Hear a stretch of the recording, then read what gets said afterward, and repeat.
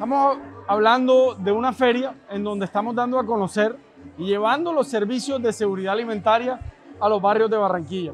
Tenemos una amplia oferta que va desde la alimentación en los centros de desarrollo infantil para nuestros niños hasta el adulto mayor que recibe suplementos alimenticios, hasta los habitantes de calle que hoy reciben sus tres comidas y además un sitio agradable donde dormir y acompañamiento psicosocial para que puedan salir de la calle. Consta también de educación de cómo alimentarse mejor, porque mucha gente tiene los recursos y la disposición de alimentarse, simplemente que toma malas decisiones alimenticias. En total invertimos más de 123 mil millones de pesos y tenemos un impacto en más de 200 mil barranquilleros. Llegamos a la base de la pirámide en cuanto a su situación socioeconómica que no les permite por educación y por recursos alimentarse como se debe.